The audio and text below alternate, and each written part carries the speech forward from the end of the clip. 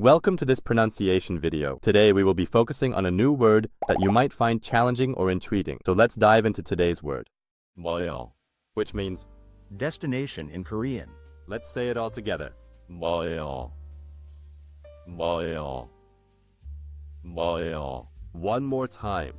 Meoyeo. Meoyeo. Meoyeo.